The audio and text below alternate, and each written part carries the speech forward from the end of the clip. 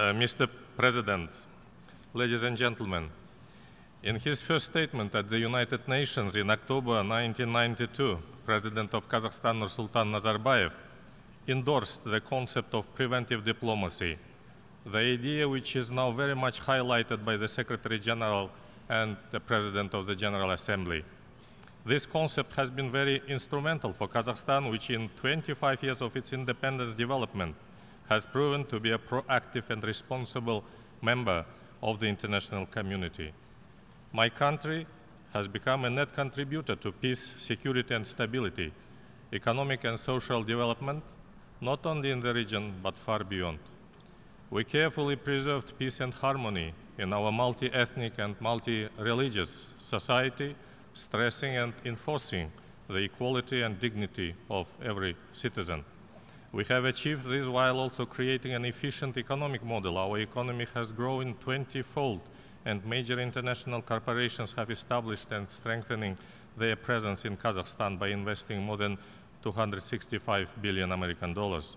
This year, Kazakhstan achieved 32nd position in the IMD World Competitiveness Ranking, a remarkable rise of 15th place, and 35th ranking in the Ease of Doing Business Index, going 16 places higher.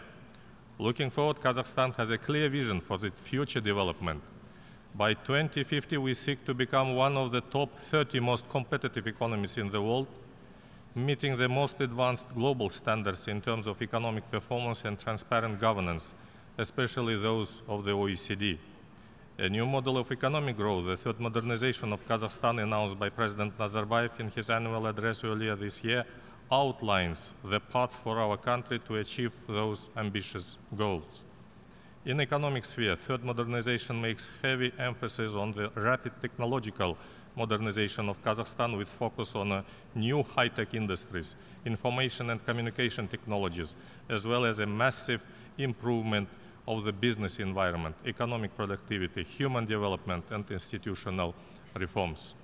We have committed resources to streamline and upgrade our road, rail, airport, and pipeline infrastructure and ensure effective conjunction between Kazakhstan state program Nurly Zhol and Chinese Belt and Road Initiative with the purpose to build a more efficient, sustainable, modern system of governance. This year, President Nazarbayev initiated a constitutional reform in Kazakhstan. This reform, now well underway, sets the goal of considerable distributing power between its three branches and further democratizing the political system as a whole. The key step is the transfer of some presidential powers to parliament and the government and strengthening of a genuine system of checks and balances. These processes of economic and political modernization will be accompanied by our quest for a modernization of Kazakhstan's national identity and its own cultural code to create conditions for a new generation to competitive and pragmatic citizens and leaders with a thirst for knowledge, progressive consciousness, and an open attitude. Mr. President, we observe with satisfaction that extended regional partnership among Central Asian states enhances common capability to withstand threats and challenges. With this in mind, during our UN Security Council membership, we are focusing on creating in our region of Central Asia a model of a regional zone of peace, security, development, and cooperation. We also strive for strengthening further regional cooperation and integration among the brotherly nations of Central Asia in various spheres such as water management, trade and development, transportation, and many others. Kazakhstan pays particular attention to regional cooperation in overcoming Aral catastrophe. The International Fund for Saving the Aral Sea remains the only permanent platform for dialogue among heads of Central Asian states. We believe that it could be used to combine our efforts to elaborate a mid and long-term strategies of regional development. Mr. President, the agenda of the current session focuses on people, encompassing issues of sustainable development, peace and security, and stresses our common responsibility for the future. No one can ignore tough realities on the ground, lack of trust and unity, global and regional inequality and injustice, poverty, xenophobia, conflicts, terrorism and extremism, as well as the proliferation of weapons of mass destruction. That is why this agenda truly reflects the magnitude of the challenges that United Nations faces today. At the same time, I underlines the undiminished importance of this organization. Indeed, the United Nations machinery is subject to criticism and long-awaited reform to enhance its, enhance its crisis preparedness and response capabilities. But at the same time, the UN remains a beacon of hope for billions of people across the globe, a universal institution that brings the promise of better, safer, and more sustainable life. We believe that the UN Secretary General is on the right track on this regard in uniting member states to revitalize the United Nations. We also support a special meeting on UN reform convened on September 18th by the United States President Donald Trump, which we believe will give a fresh incentive to turn our organization into an effective and efficient tool serving the whole of mankind.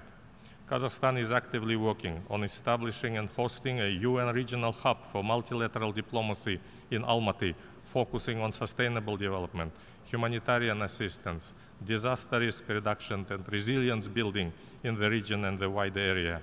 This initiative comes in line with the Secretary General's idea to optimize the service delivery mechanism in the United Nations and to increase the effectiveness of the UN field missions activity through proper planning and management. My country persistently pursues the notion of security and development nexus, the concept that echoes an intrinsic interdependence of peace and security and development. Sustainable development is unimaginable without peace and vice versa erosion of security architecture along with regional uh, confrontations and international terrorism undermines the achievement reached within MDGs and jeopardizes the objective of the SDGs. Peace, an integral requirement for social and economic and environmental propulsion. Mr. President, when we speak of opportunities unfolded by global modernization, we need to bear in mind the danger that prevent all of us from realizing our potential. In our interdependent and connected world, nuclear weapons are no longer an asset, but danger. It is with moral authority and responsibility emanating from my nation's bitter experience of the hundreds of nuclear tests, my president states that eliminating the nuclear danger is the most urgent task of humanity in 21st century. It includes a whole range of important and urgent steps, a complete ban on nuclear testing, the total prohibition of nuclear weapons and complete and verifiable destruction of nuclear arsenals. We are deeply concerned by the nuclear tests conducted by the DPRK, the only one state in the 21st century continuing such tests despite condemnation from the entire international community. I want to specifically stress that the DPRK's action to further develop the nuclear and missile programs are totally unacceptable, and Pyongyang must undertake serious steps to restore trust and recommit a much needed political settlement. In 2009, the UN General Assembly unanimously adopted its resolution designating August 29th the day of the Semipalatinsk nuclear test site was officially closed in 91 by decree of President Nazarbayev as the International Day Against Nuclear Tests. This day has been widely commemorated in Kazakhstan and in, in, the United Nations from 2010 onwards. This year was also marked by several important events of international significance. From August 25 to 29, Astana hosted the conference of the Pugwash movement of scientists to commemorate the 60th anniversary of the movement and International Day Against Nuclear Tests, where hundreds of scholars, practitioners, and officials from around 50 countries gathered to seek ways of achieving a nuclear weapon-free world. The same day, my president and IAEA Director General Yukiya Amano opened the IAEA low-enriched uranium bank facility in Kazakhstan with a view to making a significant contribution to use of nuclear energy for peaceful purposes and strengthening the global non-proliferation regime.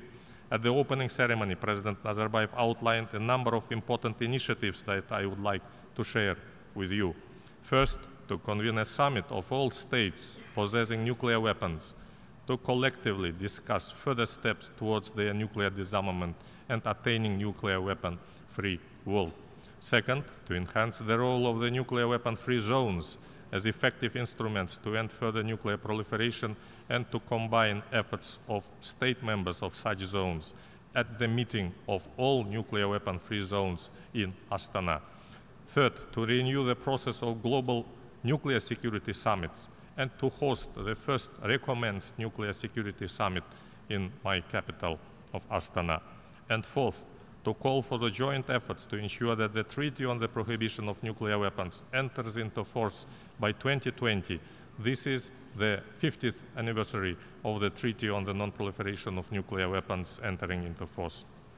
Mr. President, our common response to barbaric terrorist actions requires more coordination. Kazakhstan fully supports the efforts of the United Nations, especially the creation of the Office on Countering Terrorism, with a view to developing a long-term comprehensive approach. This goes in line with a proposal by Kazakhstan President set forth in 2015 to jointly establish the Global Anti-Terrorist Coalition. My country is looking forward to actively and constructively participating in the first ever meeting of the National Counterterrorism Agency's heads next year to forge a new international counterterrorism partnership. As practical contribution to the global partnership in fighting against terrorism, my country has initiated to elaborate a code of conduct for achievement of a terrorism-free world as one of the ways to expedite the work on the Comprehensive Convention on International Terrorism. We are also committed to implementation of the UN Global Counterterrorism Strategy and have recently allocated 300,000 American dollars for its implementation in Central Asia. Kazakhstan advocates for the widest implementation of multilateral mechanisms and instruments to combat foreign terrorist fighters and to shut down the channels of financial support for their activities through the illegal trade in drugs, natural resources, and cultural artifacts. Since there is a wide range of approaches to the issue of controlling internet content, the United Nations needs to take concerted actions to prevent use of internet for recruitment, spread of terrorism ideology, and radicalization of the population, especially amongst the youth. In Kazakhstan, we are working on creation a national cyber shield system. Mr. President, the unspeakable suffering of millions of people in Syria, Iraq, Libya, and Yemen, ongoing humanitarian crisis, and gross violation of human rights leave none of us indifferent. Kazakhstan is hosting the Astana process on Syria to contribute to the peaceful settlement in Syria and to promote United Nations-led negotiations in Geneva, which consider uh, as a main one. We believe that the Astana process, which commenced earlier this year with the support and direct involvement of President Nursultan Nazarbayev of Kazakhstan, has brought obvious positive results aimed at strengthening the ceasefire regime, creation of de-escalation zones, and developing monitoring mechanisms. Success in the Geneva and Astana platforms is critical and should be supported by all of us, saving innocent lives in Syria, and this is a moral imperative for all of us. Kazakhstan has a clear and consistent position on the Middle East peace process based on the two-state solution approach, a sovereign, independent, viable, and united states of Palestine with East Jerusalem as its capital, living within security and recognized borders, side by side in peace with Israel. As an active member of the Organization of Islamic Cooperation, my country, along with other OIC member states, strongly protects ideals of dialogue among nations and peoples of diverse religious identity. Recently in Astana, we hosted the OIC Summit on Science and Technology, technology on the margins of the International Exhibition Expo 2017. Although devoted to science and technology matters, the summit meeting was not in a position to ignore the suffering of the Rohingya community. The OIC member states condemned continued violation and called for dialogue between the United Nations, OIC, and the government of Myanmar to stop the humanitarian crisis. Events in this country once again stress the relevance of our initiative on the Congress of Leaders of World and Traditional Religions. Mr. President, Kazakhstan is fully committed to strengthening and improving United Nations peacekeeping activities and believes that the new approach of the Secretary General on peacekeeping reform with a cross-pillar approach focusing on prevention and sustaining peace will result in an increase and effectiveness of accountability of peacekeeping operations. We are confident that flexibility and partnership, as well as enabling the active involvement and engagement of new countries could increase effectiveness of peace operations. My country is committed to augmenting its contribution to UN peacekeeping by sending more military observers and staff officers to UN missions. Just recently, we declared that in the United Nations Peacekeeping Capability Readiness System, the second level of Kazakhstan's peacekeeping unit preparedness for deployment to UN peacekeeping missions. Mr. President, this year, earlier, I presented President Nazarbayev's policy address to the Security Council.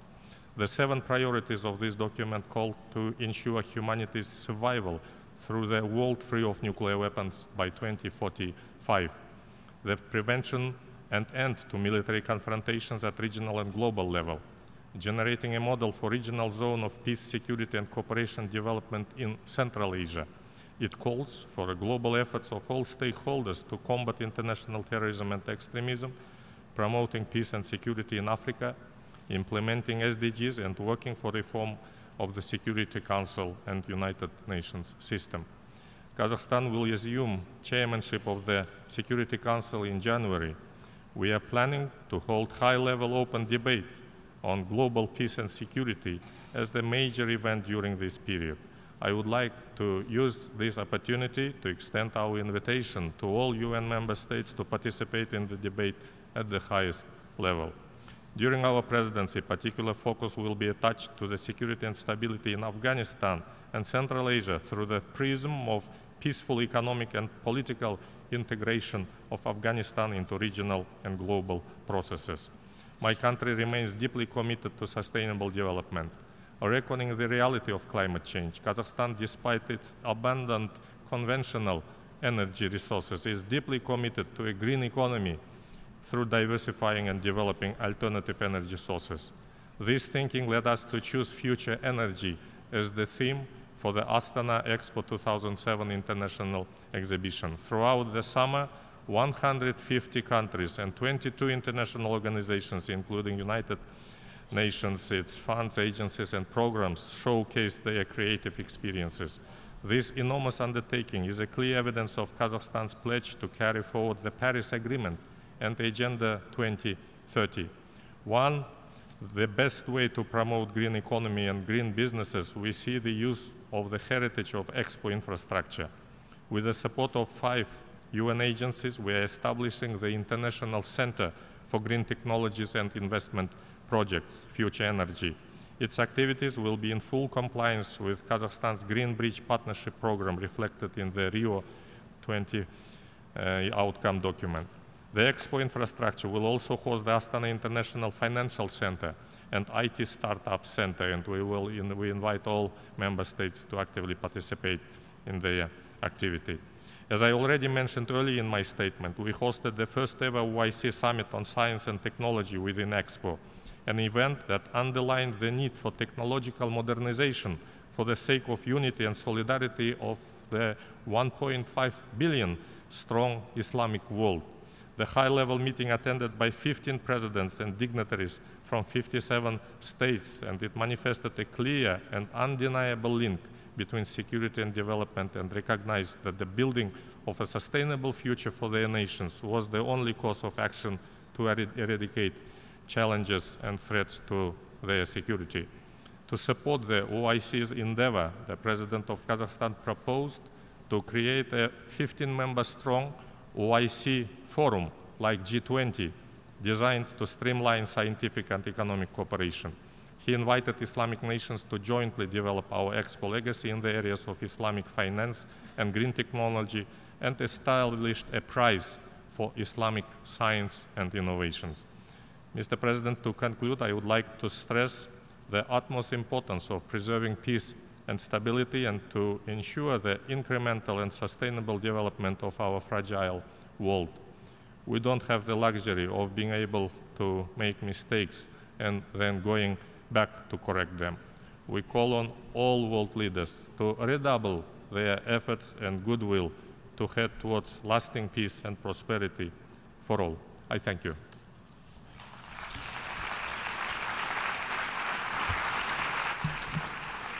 I thank the Minister of Foreign Affairs of Kazakhstan for his statement.